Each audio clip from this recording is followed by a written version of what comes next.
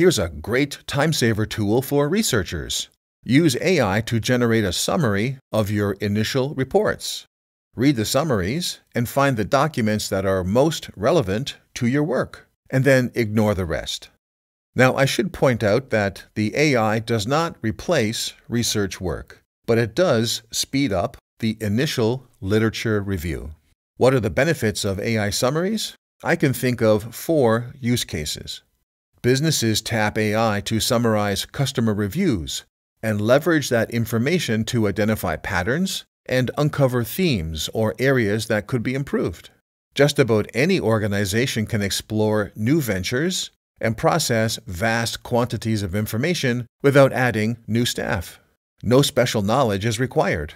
AI prompts can summarize any information source, including newspaper articles, academic or scientific research, legal documents, or literature.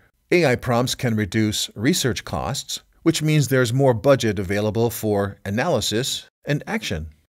There's an AIPRM summary prompt that I especially like. It's called TLDR, Extract, Facts, and Summarize.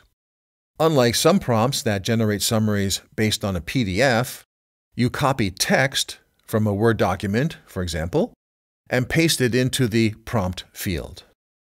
To run the prompt, log into ChatGPT and on the AIPRM dashboard, click the Public tab.